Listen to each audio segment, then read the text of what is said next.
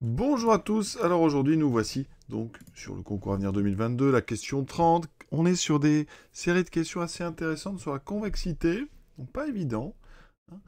Ici, il est question d'exponentielle u, hein, avec u une fonction définie et deux fois dérivable sur r, et on sait que u donc, est convexe sur R. Qu'est-ce qu'on peut affirmer sur la fonction exponentielle U? Est-ce qu'elle est concave, convexe, convexe puis concave ou concave puis convexe? Une seule des réponses est exacte, à vous de jouer.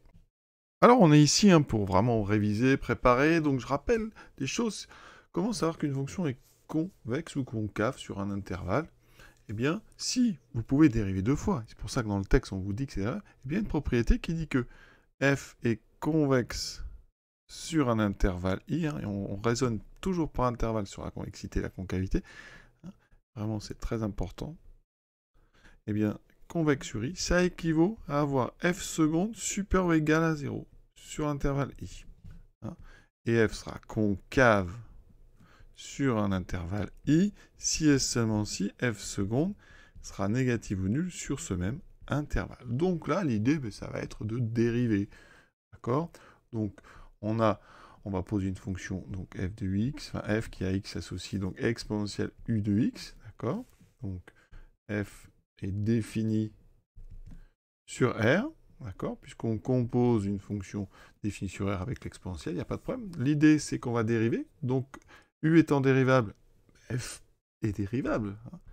f', c'est donc la dérivée d'exponentielle u. Alors vous la connaissez, la dérivée exponentielle, c'est une formule carrément. Hein, donc exponentielle c'est une composée. C'est U', E de U. À connaître absolument par cœur. Donc ici, F', c'est U', E de U. Voilà. Et maintenant, il faut dériver une deuxième fois. Alors, la forme qu'on a devant nous maintenant, c'est un produit. Donc je rappelle quand même que la dérivée d'un produit. Alors ici, je vais, dériver, je vais donner la formule. D'habitude, on donne la formule avec petit u, petit v. Mais là, il y a déjà un u dans le texte. Donc on se méfie. Donc je vais donner la formule avec Ici, un grand U, un grand V, la dérivée de grand U fois grand V, c'est donc grand U' fois grand V plus grand U fois grand V'. Il faut faire attention hein, pour ne pas mélanger. Donc ici, mon grand U, hein, ça sera donc petit U'.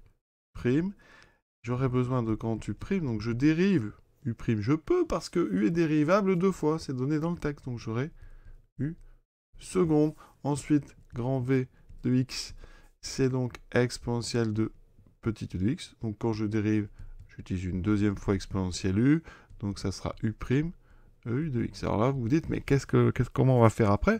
Ben, Vous allez voir, hein, comme on sait que u est convexe, on a une info sur u'. Donc maintenant, je réalise le produit. Alors, j'ai donc, euh, je vais avoir à faire, je vous montre un petit peu, donc u grand u' fois grand v plus grand u fois v' pour avoir ma dérivée de produit.